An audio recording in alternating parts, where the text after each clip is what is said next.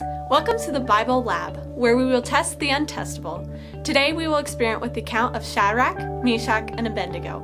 Before we begin with our experiment, I'll sum up the account from Daniel chapter 3. Nebuchadnezzar has the idea to set up a golden image for all to worship.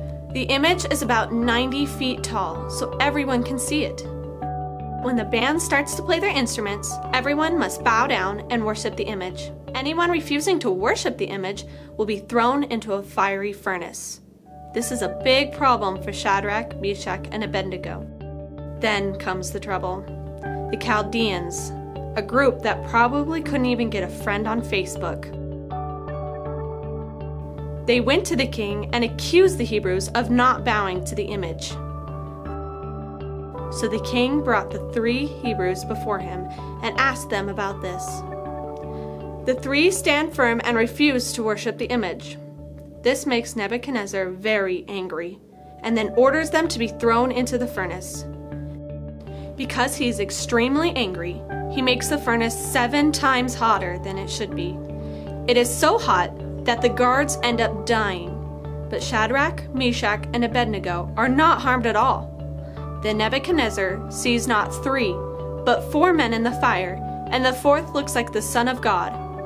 After the three come out of the fire, there is no evidence that they were standing in the fire. They didn't even smell like they had been to a campfire. So, how did this happen? Is it possible that Shadrach, Meshach, and Abednego had an explainable way to be fireproof? Let's test some theories of what might have happened other than it being a miracle from God.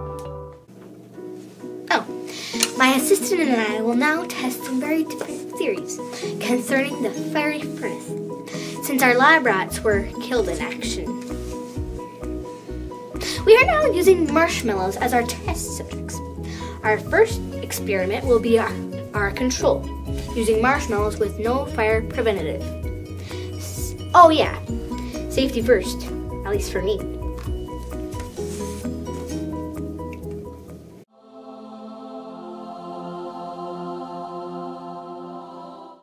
For our first theory, we will check the fire prevention strength of water.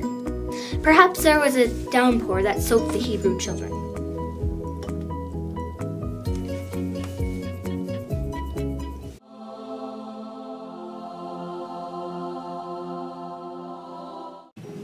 What better protection is there than hand sanitizer? Perhaps Shadmesh and Abed covered themselves with a protective coating of this gelatinous armor.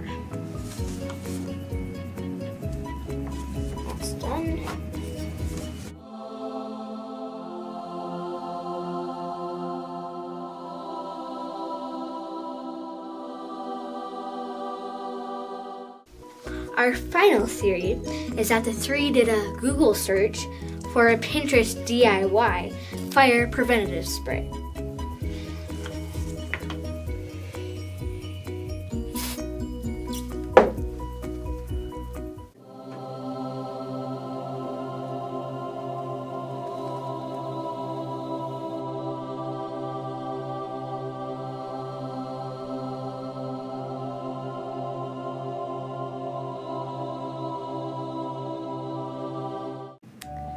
After extensive testing in our high tech laboratory, we were not able to reproduce any instance of an increased level of fire protection.